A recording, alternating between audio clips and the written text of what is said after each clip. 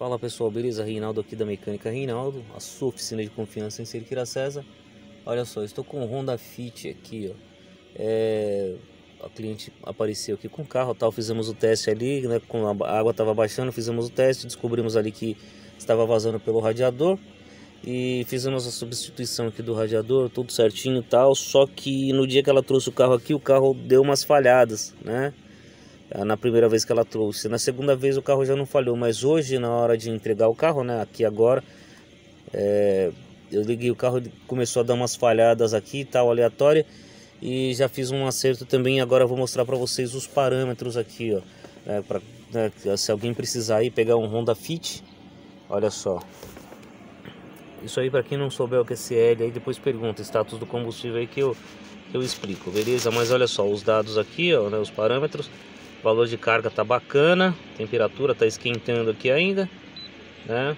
Já fiz a substituição, o ajuste fino de combustível. Olha só, tá bacana, tanto curto como longo prazo. Ó, pressão absoluta bacana também, né? Tava dando, tava mais alto isso aí. Mas eu dei uma acertada aqui. Olha só os parâmetros aí, ó. Esses são os parâmetros assim bacana do carro aqui. É um carro que você pode pegar como referência aí que se precisar, né?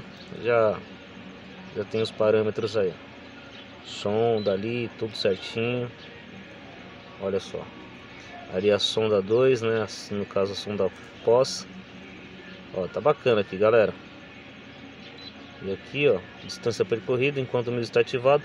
Já apaguei, tinha gravado umas falhas aqui.